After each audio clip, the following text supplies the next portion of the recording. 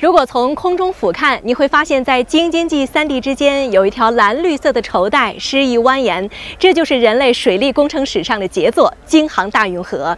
作为连通京津的重要水路，大运河武清段是进出首都北京的重要咽喉。千百年来，它见证了无数船只的来来往往，也孕育着沿岸村庄的兴衰变迁。丁家圈村位于天津市武清区南蔡村镇东南部。京杭大运河从村西流过，如今的丁家圈村依托土地资源及周边水利优势，与天津农科院葡萄研究所结成科技帮扶对子，建成葡萄种植示范推广基地。我们村是从二零一五年开始种植葡萄，因为我们这个整块的这个地啊，就是河滩地。嗯，我们的运河是从我们村西边和南边转了一个弯，包围着的。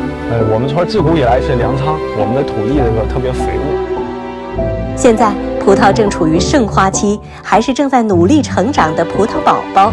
待到八九月份，丁家圈村便又会迎来甜美的丰收。千年流淌的运河，孕育出多姿多彩的运河文化。这其中，与沿河两岸人民密不可分的，便是美食。车马舟船，人来人往，多种饮食沿运河交融汇聚于此，调和出独具武清人文历史与乡土风情的饮食。这两盘儿是咱们大运河的一个特色的食材，是不是？对，这河虾是这个季节最肥。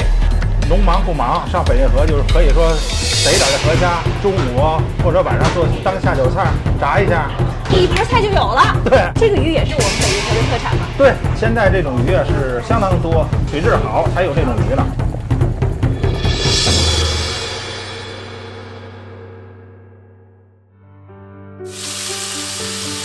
运河慷慨馈赠了丰富的食材，在武清人民的智慧与民风中烹饪出熟悉的一日三餐。